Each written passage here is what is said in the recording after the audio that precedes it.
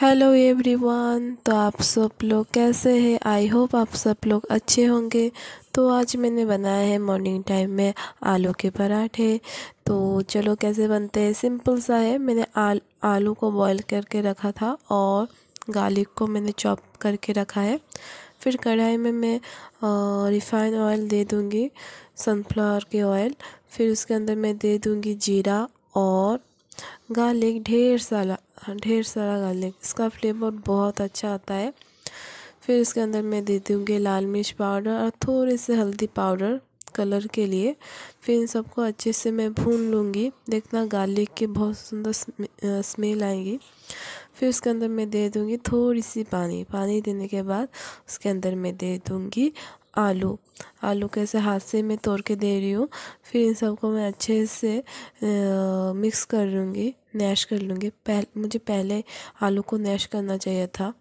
अब पहले आलू को नैश कर लेना अच्छे से, नहीं तो ऐसे मेरे तरफ़ से ऐसे दिक्कत हो सकता है।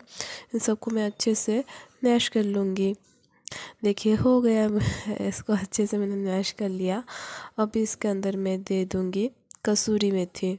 इसको आप स्किप कर सकते इसको देंगे तो बहुत अच्छा टेस्ट आता है। तो उसको अंदर मैं दे दूँगी कसूरी तो तैयार हो चुका है मेरा मसाला। फिर चलो बनाते फिर मैं आटे को लुई को लूँगी अच्छे से। मैं इसको गोल गोल करके मतलब इसका अंदर तक हमें दबा के बड़ा करना है।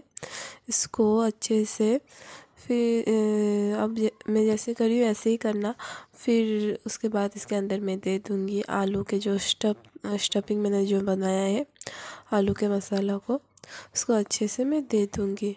फिर इसको चारों तरफ़ से हम, मैं बंद कर लूँगी अच्छे से, ऐसे फिर इसको आटे आटे से मदद से मैं इसको अच्छे से गोल गोल करके बे बेल लूँगी।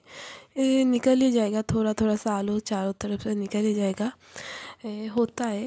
आ, फिर इसको आराम आराम से हल्के हल्के से बेल लेना है। ज़्यादा दबाना नहीं है। दबाएँगे तो चारों तरफ़ से आलू निकल जाएँगे। तो इसको पकाते हैं फिर इसको मैंने पका लूँगी। दोनों तरफ़ से पहले हल्के हल्के से मैं फ्राई करूँगी।